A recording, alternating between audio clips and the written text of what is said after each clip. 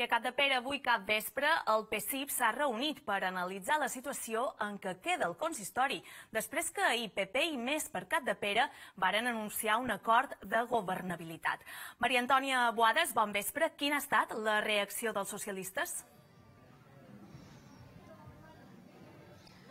Bon vespre, i doncs l'executiva del PSI-PSOE troba que s'ha d'aplicar el pacte antitransfugisme, al qual arribaren diferents partits polítics a nivell estatal, entre ells el Partit Popular, i també demanaran a la presidenta del govern, Marga Provens, que no accepti el pacte de cap de pere entre PP i més. Aquestes són algunes de les impressions que s'han tractat a l'executiva que s'ha celebrat a Cala Ratjada, que ha començat a les 7 del capvespre i que en aquests moments la secretària general del partit de, del PSI-PSOE, Catalina Cledera, i també el portaveu del PSI-PSOE, Pere, Rafael Fernández, estan traslladant a l'Assemblea local.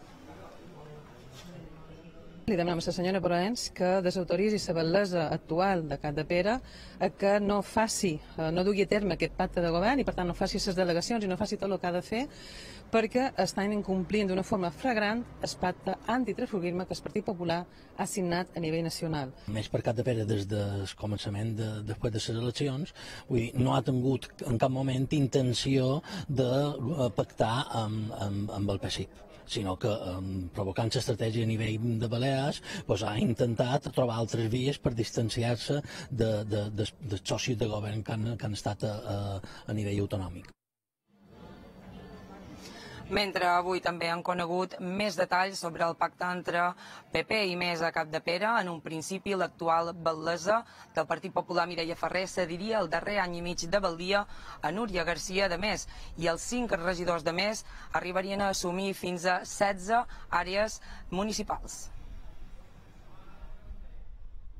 Cinc eren molt pocs per, per un ajuntament eh, on hi ha 17 concejals i, i ara podrem eh, a partir d'ara fer feina de veres, podem anar amb la tranquil·litat de que podrem invertir, fer coses pel municipi, aprovar pressuposts. I la veritat que això mos, mos garantitzarà eh, seguir fent feina i fer la feina bé. Han estat moltes reunions, eh,